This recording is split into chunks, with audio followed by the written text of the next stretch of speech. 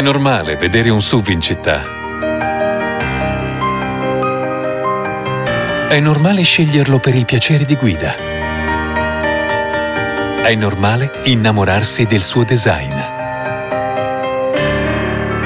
Quello che è sempre stato impossibile per un SUV è diventato possibile con Sportage.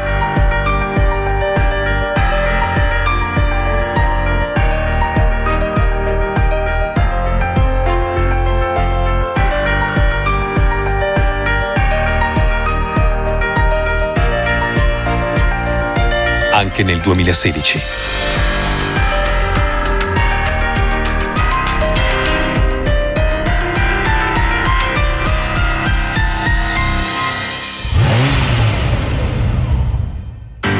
Nuovo Kia Sportage